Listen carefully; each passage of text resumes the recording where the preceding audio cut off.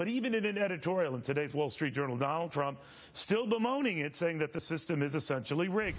David Bossie, Citizens United president. He has no horse in this race that I believe of, David. But what do you make of these ongoing protests? Because certainly Donald Trump isn't letting go. His supporters aren't letting go. What do you think? Well, look, I think it's. I could see both sides of this coin, actually, uh, Neil. It's. It's. It, each state is able to make their own rules, and these rules have been in place for a year. Donald Trump lost, and he lost all of the delegates. And I understand that he feels the polling showed he would have done very well in Colorado, and therefore he wants to bemoan the system. He also is trying to establish a record, in my opinion, and it, and that record is if he doesn't win the nomination, he is able to use this record as part of that defense about how the system is rigged against him. I think him. you're exactly right. I think you're exactly right, David, which should worry you because I agree with you and you should run the other way. but, Dave, one of the things I think is I, I think Trump is, is crazy like a fox. He knew exactly what the rules were going in. He took Colorado for granted. He thought he might win those delegates.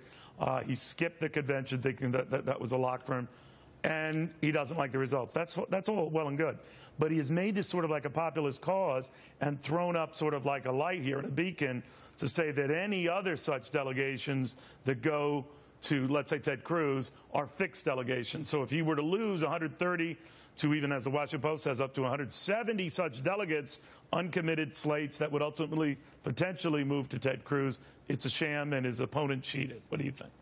Yeah, look, you know, and that's my problem. I don't necessarily agree with that. These rules have been in place.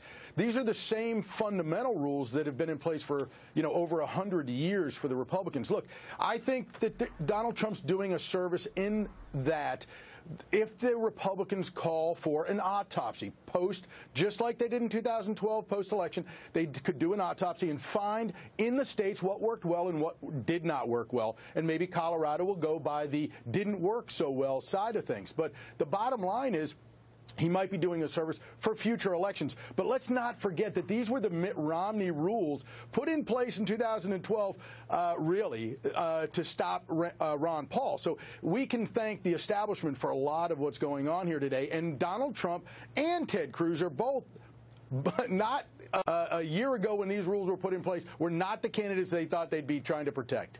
You hit on another key point. These very changes that Trump bemoans –